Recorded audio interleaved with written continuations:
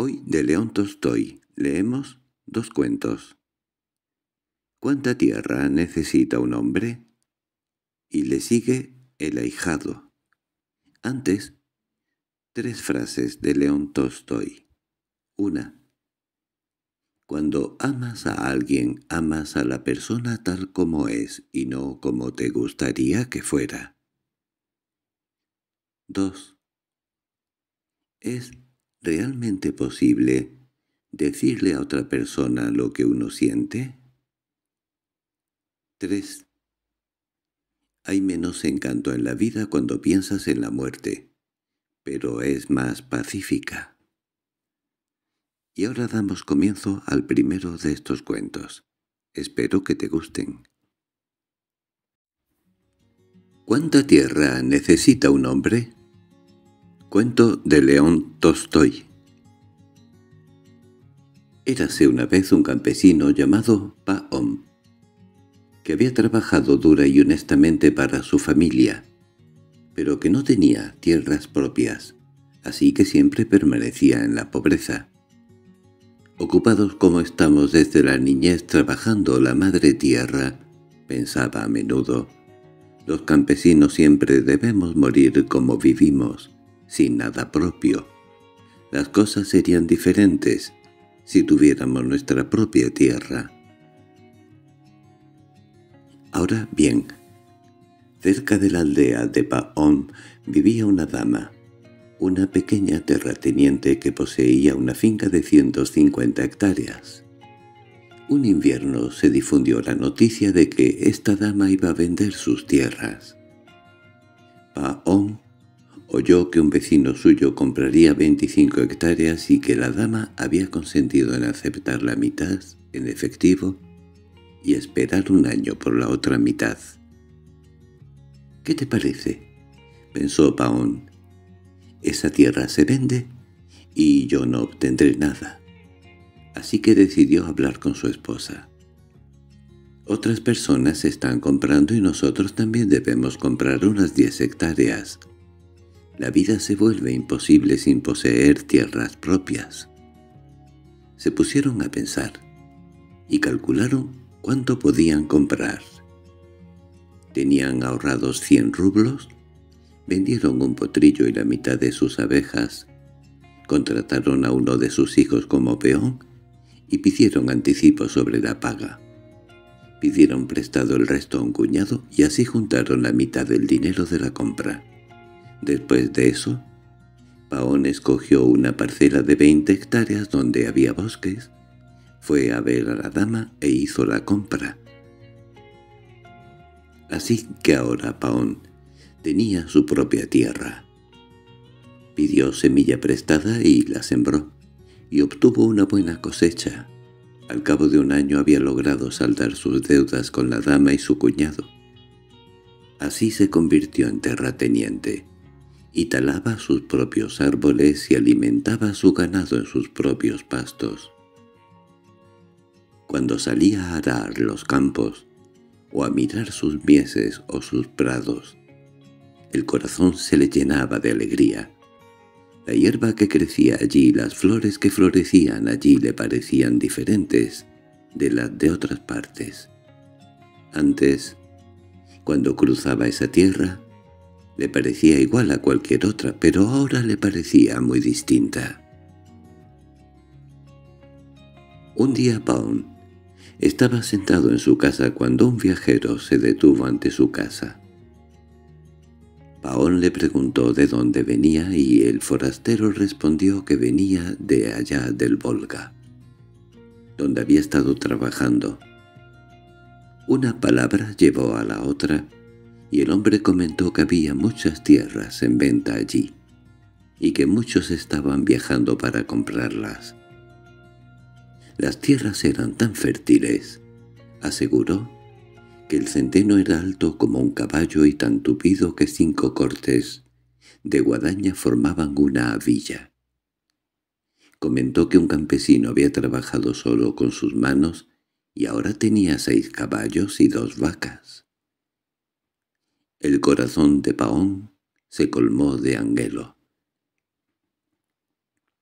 ¿Por qué de sufrir en este agujero? pensó. Si se vive también en otras partes. Venderé mi tierra y mi finca, y con el dinero comenzaré allá de nuevo y tendré todo nuevo.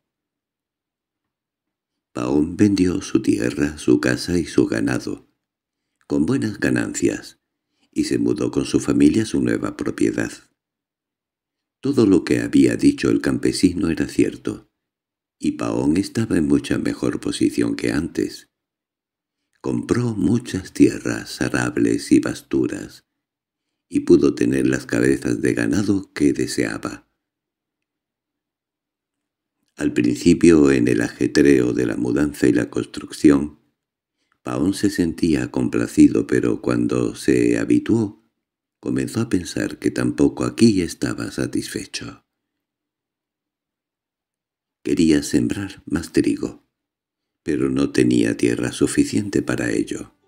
Así que arrendó más tierras por tres años. Fueron buenas temporadas y hubo buenas cosechas. Así que Paón ahorró dinero. Podría haber seguido viviendo cómodamente, pero se cansó de arrendar tierras ajenas y de sufrir privaciones para ahorrar dinero. Si todas estas tierras fueran mías, pensó, sería independiente y no sufriría estas incomodidades. Un día, un vendedor de bienes raíces que pasaba le comentó que acababa de regresar de la lejana tierra de los Baikirs, donde había comprado seiscientas hectáreas por solo mil rublos. «Solo debes hacerte amigo de los jefes», dijo. Yo regalé como cien rublos en vestidos y alfombras, además de una caja de té y de vino, a quienes lo bebían y obtuve la tierra por una picoca.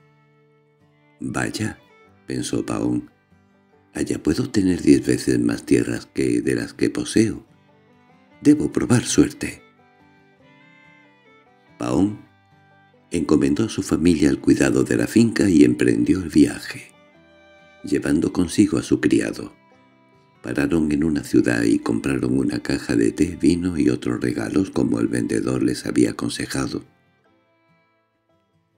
Continuaron viaje hasta recorrer más de 500 kilómetros, y el séptimo día llegaron a un lugar donde los Bakirs habían instalado sus tiendas.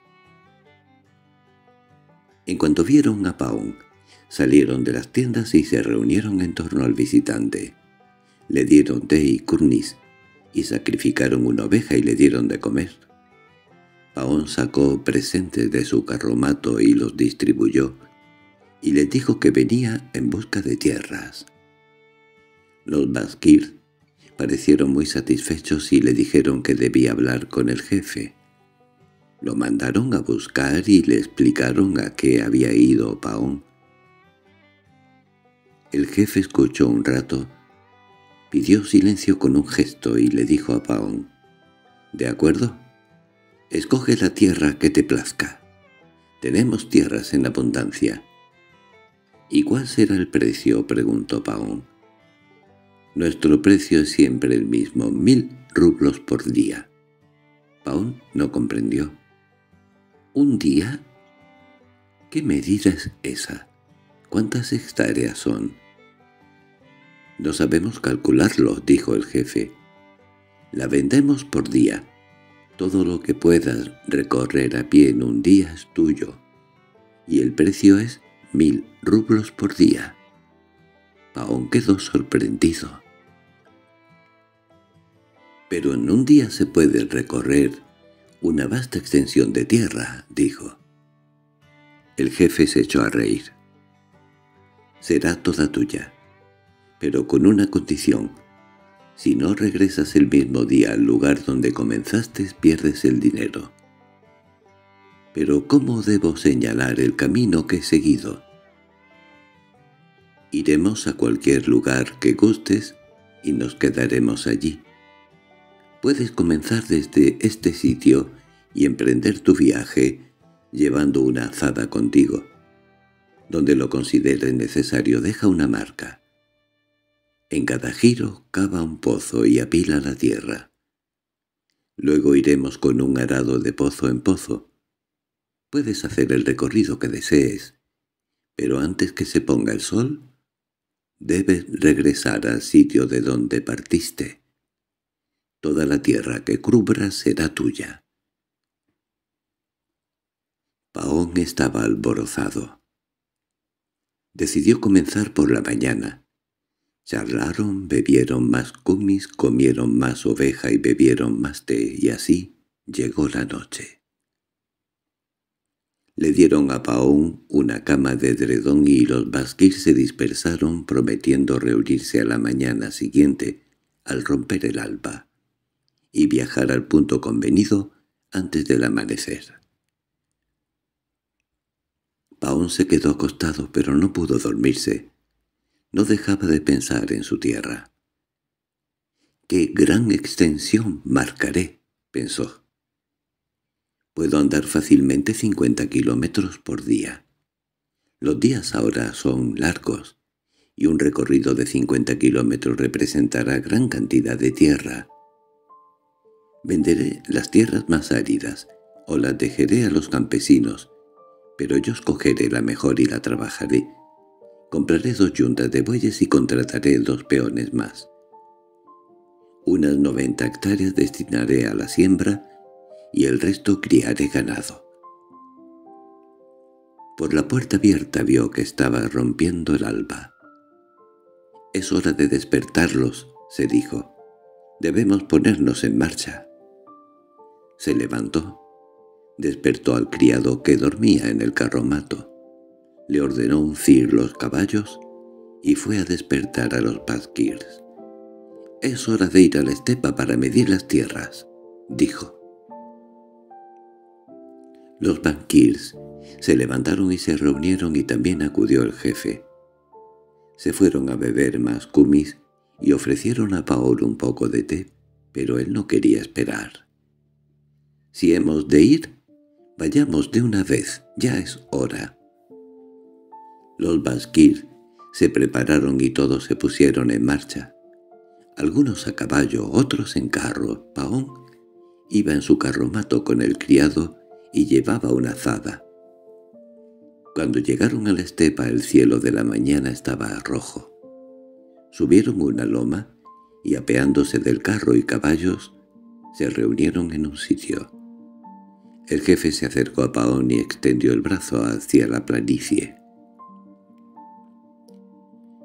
Todo esto, hasta donde llega la mirada es nuestro. Puedes tomar lo que gustes. A Paón le relucieron los ojos, pues era toda tierra virgen, chata como la palma de la mano y negra como semilla de amapola, y en las hondonadas crecían altos pastizales. El jefe se quitó la gorra de piel de zorro, la apoyó en el suelo y dijo, «Esta será la marca. Empieza aquí y regresa aquí. Toda la tierra que rodees será tuya». Paón sacó el dinero y lo puso en la gorra. Luego se quitó el abrigo quedándose con su chaquetón sin mangas. Se aflojó el cinturón y lo sujetó con fuerza bajo el vientre, se puso un costal de pan en el pecho del jabón y, atando una botella de agua al cinturón, se subió la caña de las botas, empuñó la azada y se dispuso a partir. Tardó un instante en decidir el rumbo. Todas las direcciones eran tentadoras. «No importa», dijo al fin. «Iré hacia el sol naciente». Se volvió hacia el este, se desperezó y aguardó a que el sol asomara sobre el horizonte. «No debo perder tiempo», pensó, «pues es más fácil caminar mientras todavía está fresco». Los rayos de sol no acababan de chispear sobre el horizonte cuando Paón, afada al hombro, se internó en la estepa. Paón caminaba a paso moderado, tras avanzar mil metros, se detuvo. Cavó un pozo y apiló terrones de hierba para hacerlo más visible. Luego continuó y ahora que había vencido el entumecimiento apuró el paso. Al cabo de un rato, cavó otro pozo. Miró hacia atrás. La loma se veía claramente a la luz del sol, con la gente encima, y las relucientes llantas de las ruedas del carromato. Paón calculó que había caminado cinco kilómetros. Estaba más cálido. Se quitó el chaquetón, se lo echó al hombro y continuó la marcha. Ahora hacía más calor, miró el sol. Ahora era hora de pensar en el desayuno. He recorrido el primer tramo, pero hay cuatro en un día, y todavía es demasiado pronto para virar. Pero me quitaré las botas, se dijo. Se sentó, se quitó las botas. Se las metió en el cinturón y reanudó la marcha. Ahora caminaba con soltura. Seguiré otros cinco kilómetros, pensó, y luego giraré a la izquierda. Este lugar es tan promisorio que sería una pena perderlo. Cuanto más avanzo, mejor parece la tierra. Siguió derecho por un tiempo, y cuando miró en torno, la loma era apenas visible y las personas parecían hormigas, y apenas se veía un destello bajo el sol. «Ah», pensó Paón, «he avanzado bastante en esta dirección. Es hora de girar. Además, estoy sudando, y muy sediento». Se detuvo. Cavó un gran pozo y apiló hierba. Bebió un sorbo de agua y giró a la izquierda. Continuó la marcha y la hierba era alta y hacía mucho calor. Paón comenzó a cansarse. Miró el sol y vio que era mediodía. «Bien», pensó, «debo descansar». Se sentó, comió pan y bebió agua, pero no se acostó temiendo quedarse dormido. Después de estar un rato sentado siguió andando. Al principio caminaba sin dificultad y sentía sueño, pero continuó.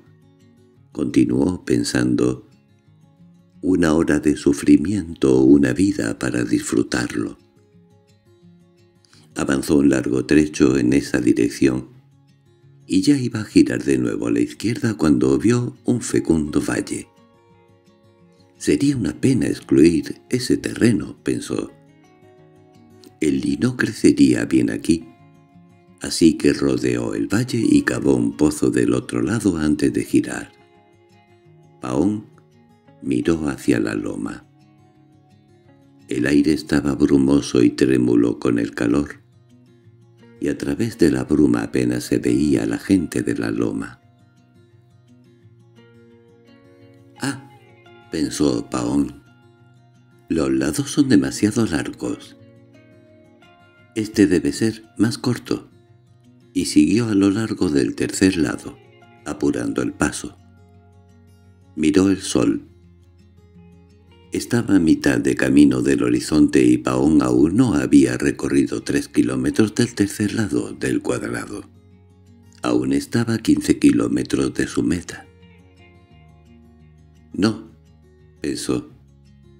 Aunque mis tierras queden irregulares, ahora debo volver en línea recta. Podría alejarme demasiado y ya tengo gran cantidad de tierra. Paón cavó un pozo de prisa. Echó a ondear hacia la loma pero con dificultad. Estaba agotado por el calor, tenía cortes y magulladuras en los pies descalzos, le flaqueaban las piernas. Ansiaba descansar, pero era imposible si deseaba llegar antes del poniente. El sol no espera a nadie, y se hundía cada vez más. «¡Cielos!» pensó. Si no hubiera cometido el error de querer demasiado, ¿qué pasaría si llegó tarde? Miró hacia la loma y hacia el sol. Aún estaba lejos de su meta, y el sol se aproximaba al horizonte. Paón siguió caminando, con mucha dificultad, pero cada vez más rápido. Apuró el paso, pero todavía estaba lejos del lugar. Echó a correr. Arrojó la chaqueta, las botas, la botella y la gorra y conservó solo la azada que usaba como bastón. ¡Ay de mí!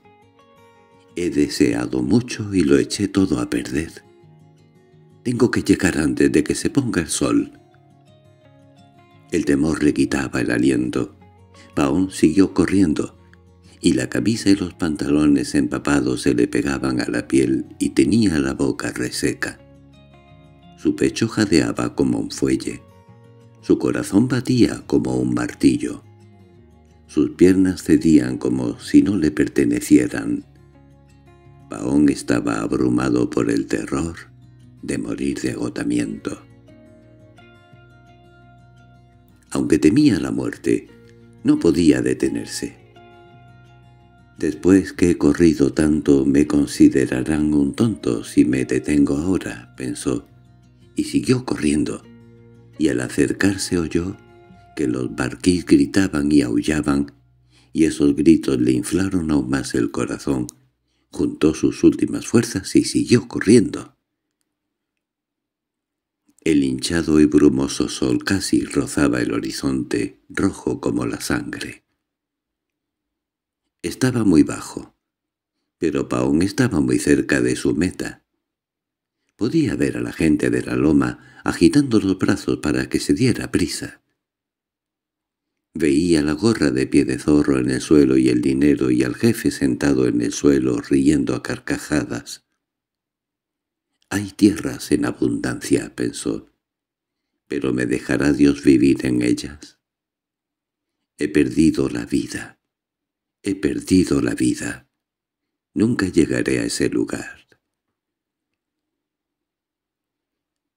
Paón miró el sol, que ya desaparecía, ya era devorado.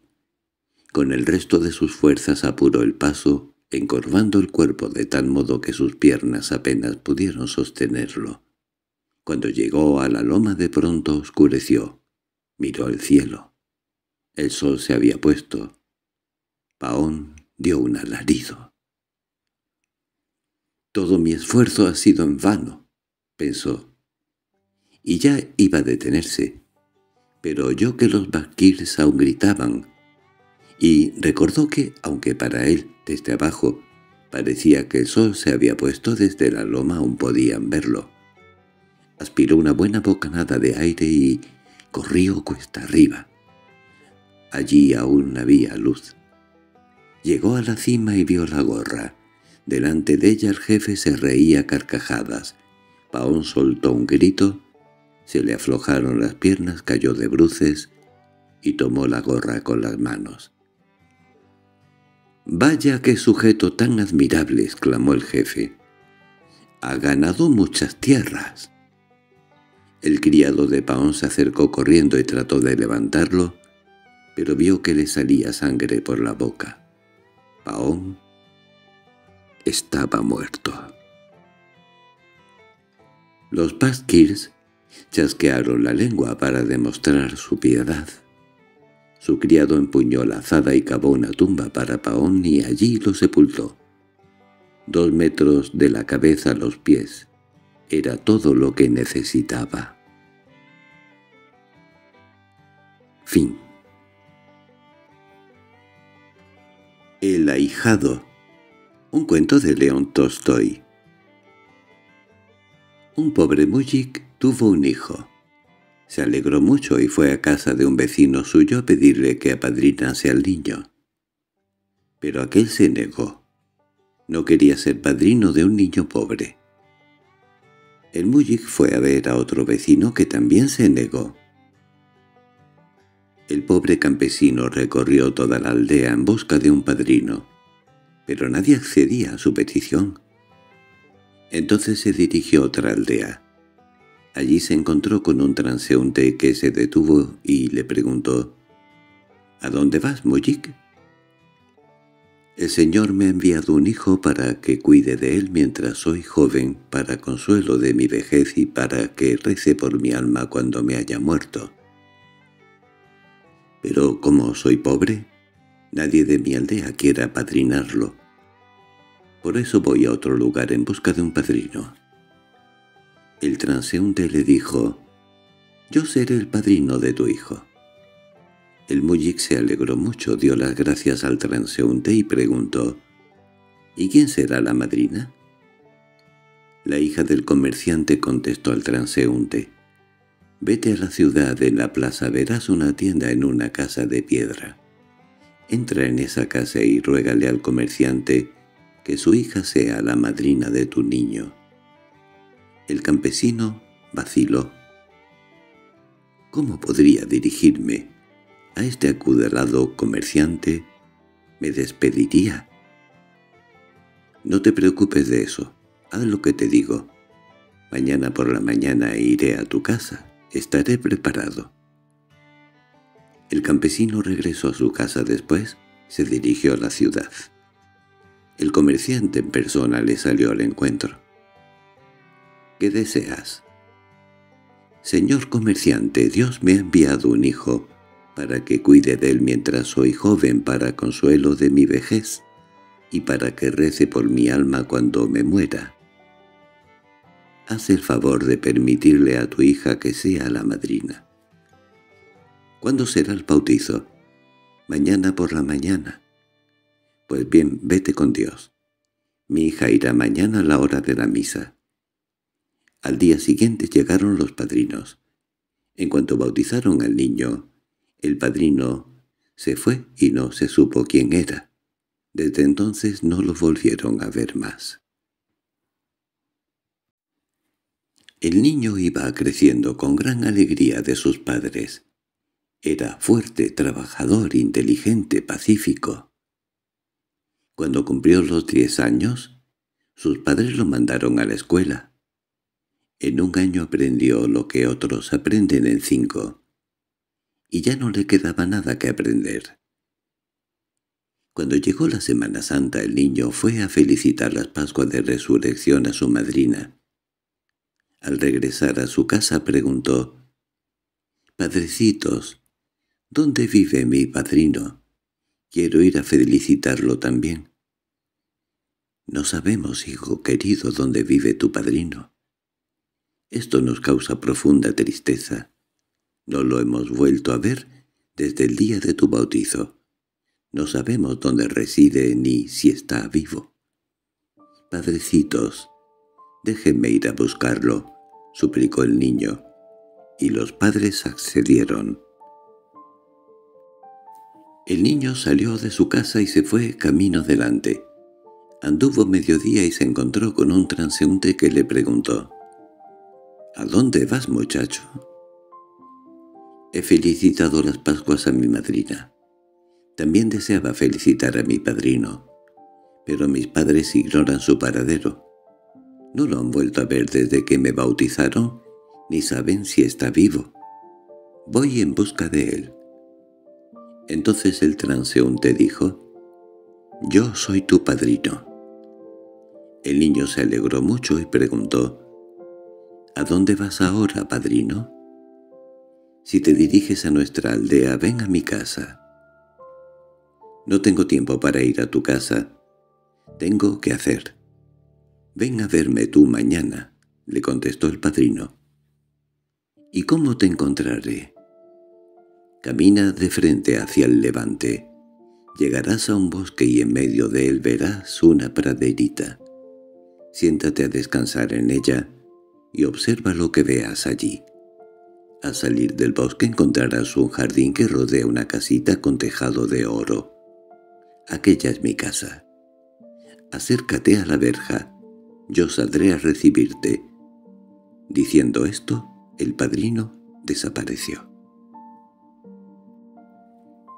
El niño se puso en camino tal como se lo había ordenado su padrino. Anduvo, anduvo, atravesó un bosque y llegó a una paraderita. Allí vio un pino, en una de cuyas ramas pendía un tronco de roble atado con una cuerda. Debajo del tronco había una artesa llena de miel. El niño se puso a pensar qué significaba todo aquello. Entonces se oyeron chasquidos y apareció una cosa seguida de cuatro seznos. La osa olfateó y se dirigió hacia la artesana, introdujo el hocico en la miel y llamó a sus pequeños. Estos se lanzaron hacia la artesana. El tronco osciló levemente, empujando a los ocesnos. Al ver esto, la osa dio un empellón al tronco. Este osciló y volvió a golpear a los ositos. Los ositos lanzaron un gemido y salieron despedidos. La osa gruñó, y agarrando el tronco los arrejó lejos de sí. El tronco salió volando muy alto por los aires. Entonces el mayor de los ositos corrió a la artesa. Los demás quisieron seguir su ejemplo, pero aún no les había dado tiempo de llegar, cuando el tronco volvió a su posición normal, matando al osito. Gruñendo la oza lanzó el tronco hacia arriba con todas sus fuerzas. El tronco llegó muy alto, por encima de la rama de la que estaba colgado, con lo que se aflojó la cuerda. Entonces la osa y los pequeños corrieron de nuevo a la artesa, pero a medida que el tronco volvía a su posición normal, iba adquiriendo más velocidad. Golpeó en la cabeza a la osa y la mató. Entonces los ocesnos salieron huyendo. Muy sorprendido el niño siguió su camino y llegó a un espacioso jardín donde se alzaba la casa con tejado de oro. Junto a la verja se hallaba su padrino, sonriéndole. Ni en sueños había visto el niño la belleza y la alegría que reinaba en aquel jardín. El padrino lo condujo a la casa, aún más regia que el jardín, y le enseñó sus magníficas y alegres habitaciones. Luego llevándolo junto a la puerta sellada le dijo, «¿Ves esta puerta? No tiene candado, tan solo está sellada. Podrías abrirla, pero no quiero que lo hagas. Instálate aquí, pasea y haz lo que quieras. Disfruta de todo esto, pero solo te encargo una cosa. No traspases esta puerta. Y si lo hicieras recuerda lo que viste en el bosque. Diciendo esto el padrino se marchó. El ahijado se sentía alegre y satisfecho. Habían transcurrido ya treinta años desde que estaba allí, pero él se imaginaba que sólo habían sido tres horas. Y entonces se acercó a la puerta sellada y pensó, ¿Por qué me habrá prohibido mi padrino entrar en esta habitación? Voy a ver lo que hay dentro de ella. Empujó la puerta y entró. Pudo comprobar que aquella era la habitación mejor y más espaciosa de toda la casa. En el centro había un trono de oro. El ahijado recorrió la sala, se acercó al trono, subió las gradas y tomó asiento.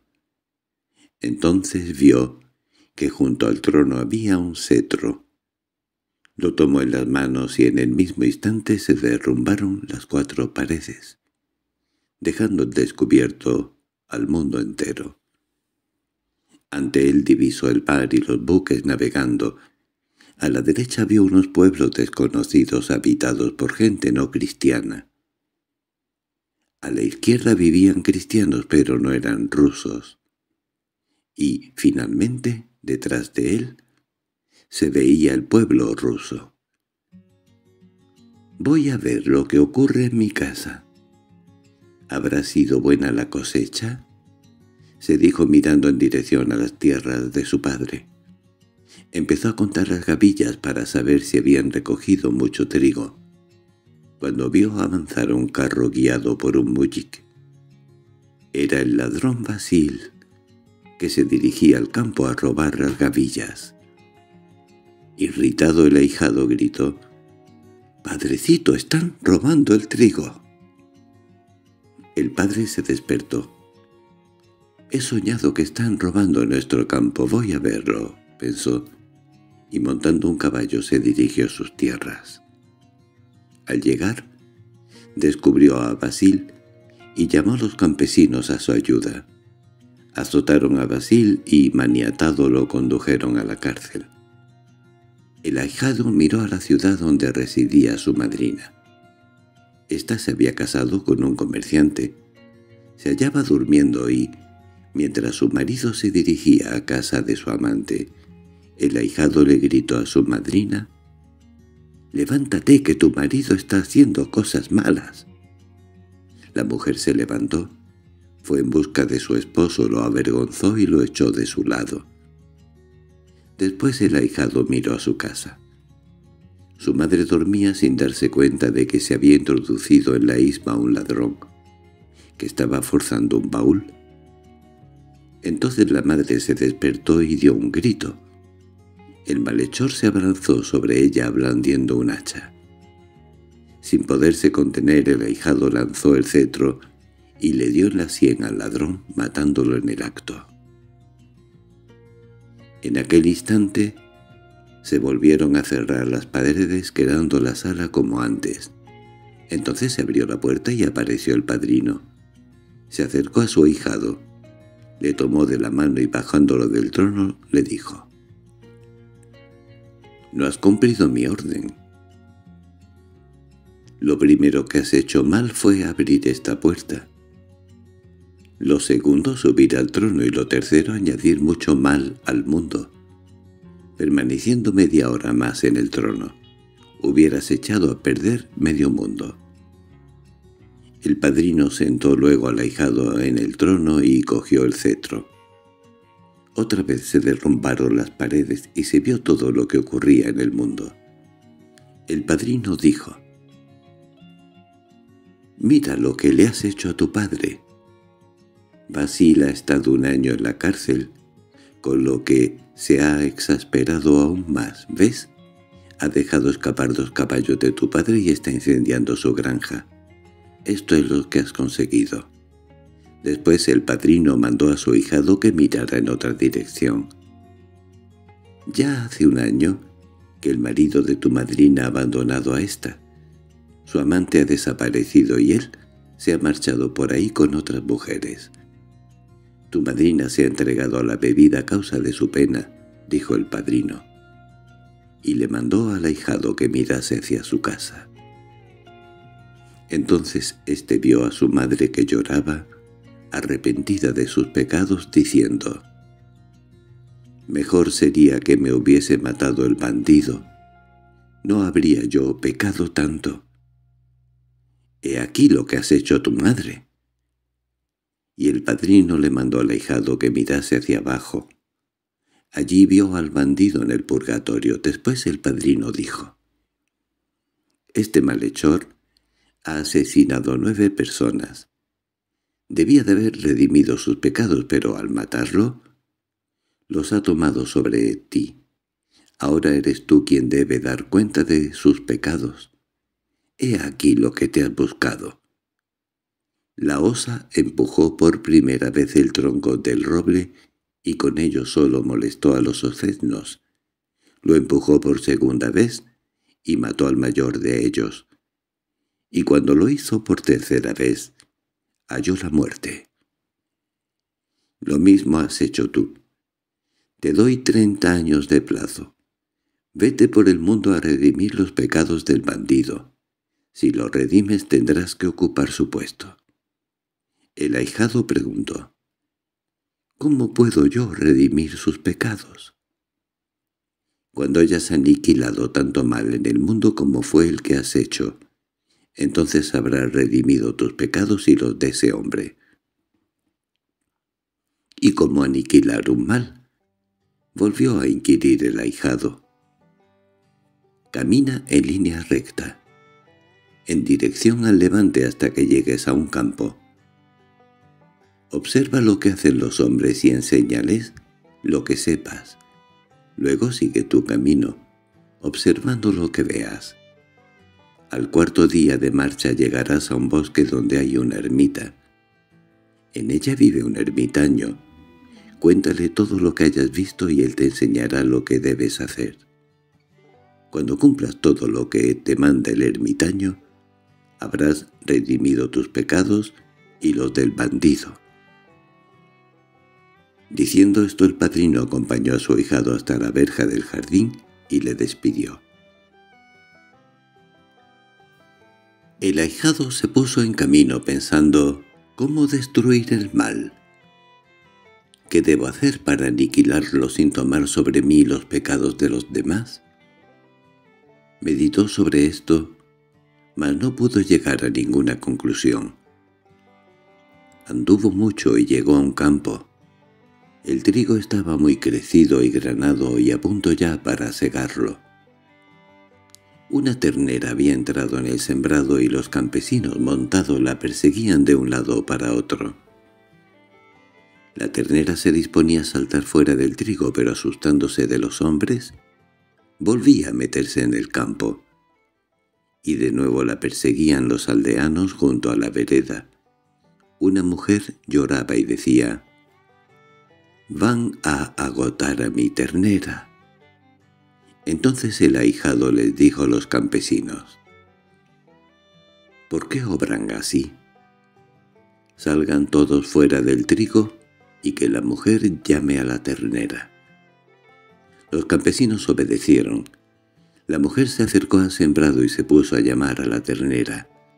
El animal irguió las orejas, permaneció un rato escuchando y salió corriendo hacia su ama. Todos se alegraron mucho.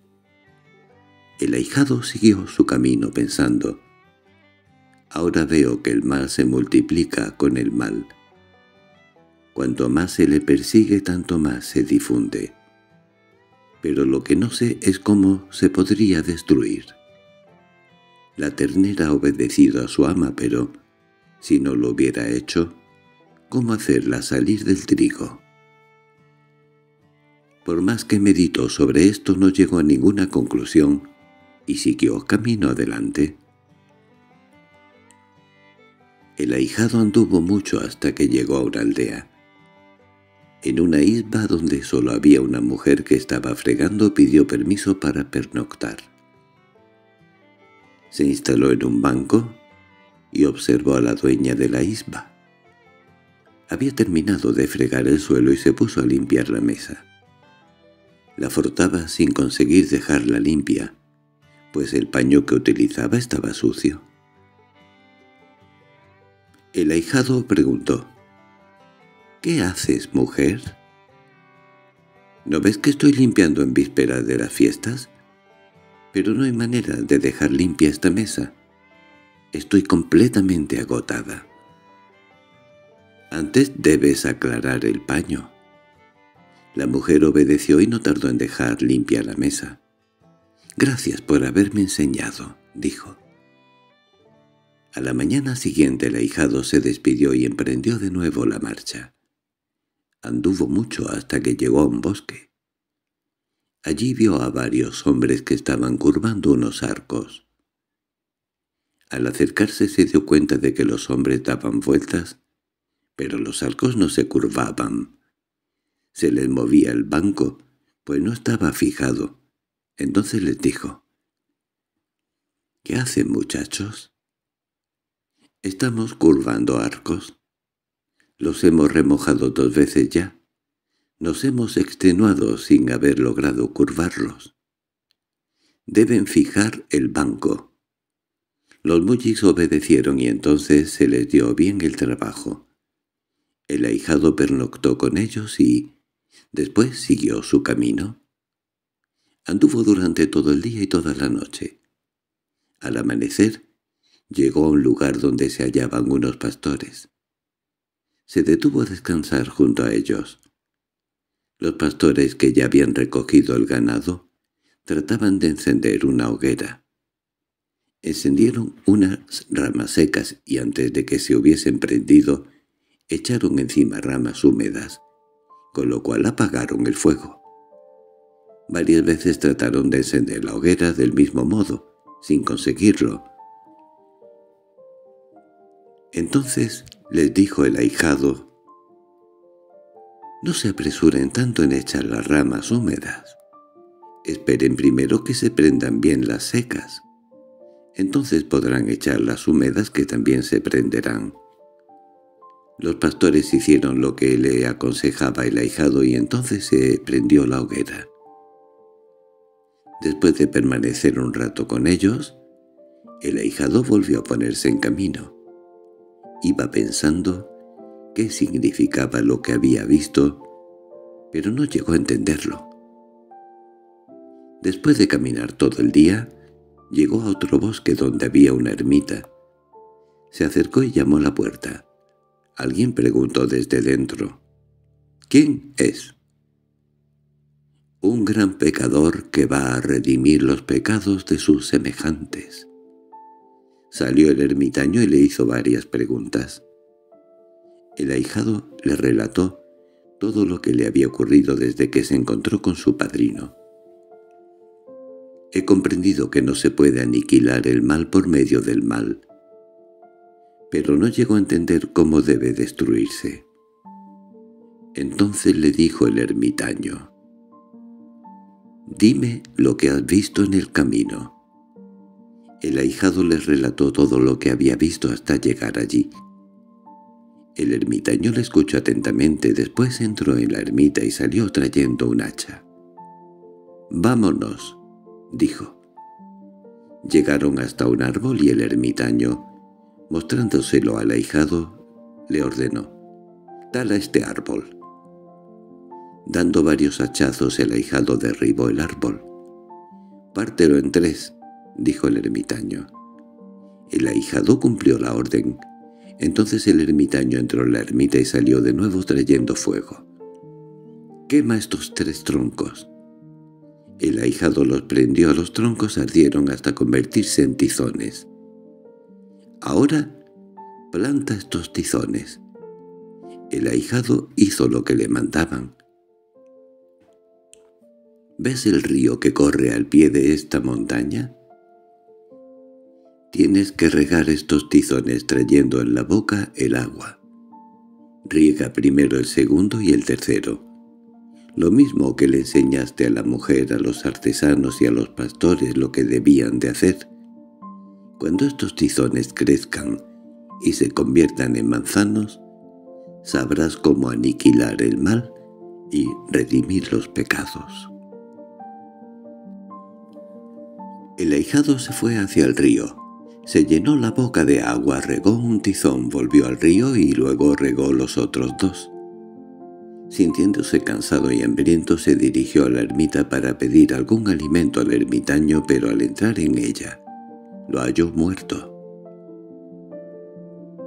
El ahijado encontró unos mendrugos de pan y se los comió. Luego buscó una azada y fue a cavar una fosa para enterrar al viejo. De noche regaba los tizones y, durante el día, cavaba la fosa. Cuando estuvo preparada la fosa y el ahijado se disponía a enterrar al ermitaño, llegaron la gente de la ciudad trayendo alimentos para el viejo.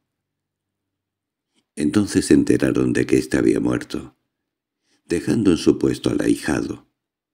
Dieron sepultura al ermitaño, lo dejaron pan al ahijado y le prometieron traerle más, y se fueron.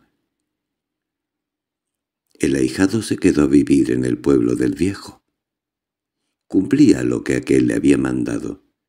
Regaba los tres tizones trayendo el agua en la boca y se alimentaba con las limosnas de la gente.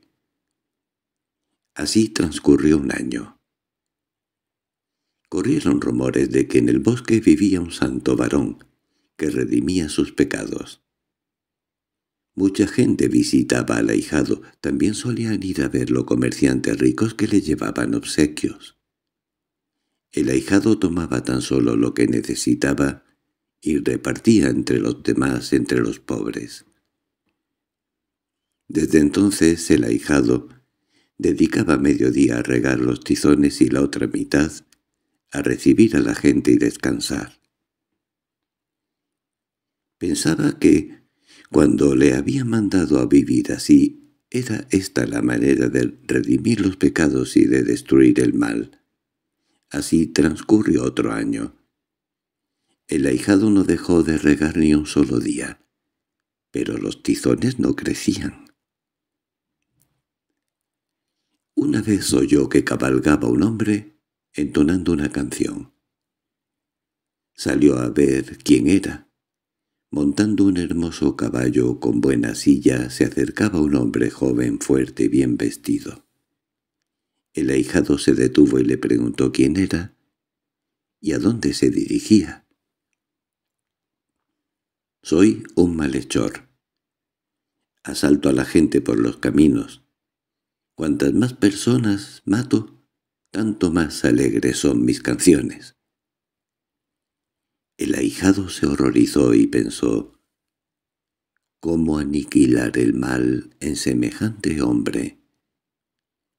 Me resulta fácil convencer a las personas que vienen a verme, pues se arrepienten por sí mismas. En cambio este hombre se jacta del daño que hace. Sin pronunciar ni una palabra más, el ahijado se apartó del bandido mientras pensaba, ¿qué hacer? Si este hombre se aficiona a venir por aquí, asustará a las gentes y éstas dejarán de visitarme, con ello se verán perjudicadas y además, ¿de qué viviría yo? Entonces se dirigió al bandido diciéndole,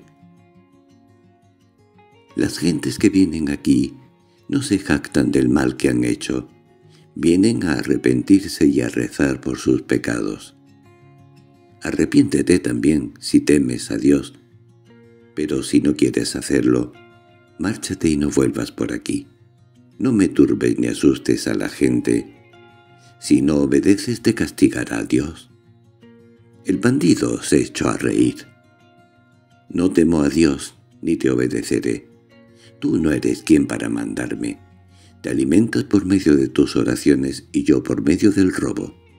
Todos tenemos que comer. Predica a las mujeres que vienen a verte. A mí no tienes que enseñarme nada. Por haberme hablado de Dios mañana mataré a dos personas más. También te mataría a ti, pero no quiero mancharme las manos. No vuelvas a ponerte ante mi vista desde ahora en adelante. Un día, después de haber regado los tizones, el ahijado se hallaba descansando en la ermita. Miraba el sendero esperando ver aparecer a la gente pero aquel día nadie lo visitó. El ahijado permaneció solo hasta la noche. Se sintió invadido por la tristeza y meditó sobre su vida. Recordó que el bandido le había reprochado que sus oraciones le sirvieran de medio para sustentarse. No vivo según me ha ordenado el ermitaño, me ha impuesto una penitencia para redimir los pecados, en cambio yo obtengo beneficios de ella y hasta he llegado a hacerme célebre.